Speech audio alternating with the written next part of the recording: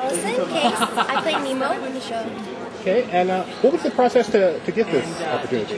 Um, I auditioned in Los Angeles, California, and uh, got a callback again in Los Angeles, and then they relocated me to Orlando, Florida. We live Have you done any puppetry work prior to this? No, no puppetry work. We first day we picked them up, and the last two months have all been about learning the show, but also learning these little guys. Is it a difficult thing to pick up?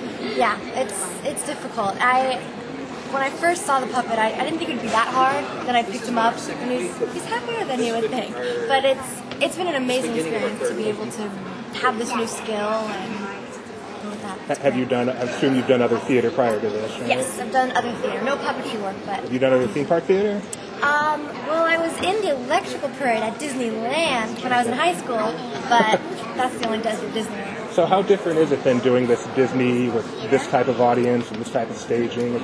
It's it's crazy. It's a little overwhelming. I mean, we, you know, I just graduated college and I did some theater work, and then I got this job and I came here and I remember the first time we stepped on the stage, we were like, oh my goodness. It's it's just been an overwhelmingly exciting process, and we've been very lucky. And the audience response has been good so far?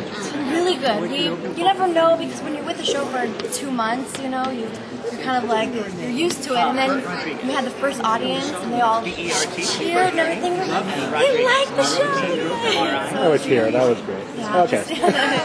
well, thank you very much. Alan. I have a question, Allison. What's your favorite sequence to perform? My favorite sequence. Actually. Yeah. Well, I have a few different moments, but I love um, Big Blue World. It's just fun, and you get to run around and be excited. And I love the I Belong Here moment, going up on the ramp. And then I also like um, probably the finale. The finale's fun, seeing Dad again.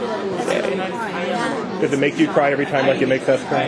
Yeah, when I I drove from California here when I was relocating, and I listened to the CD over and over, and every time it got me.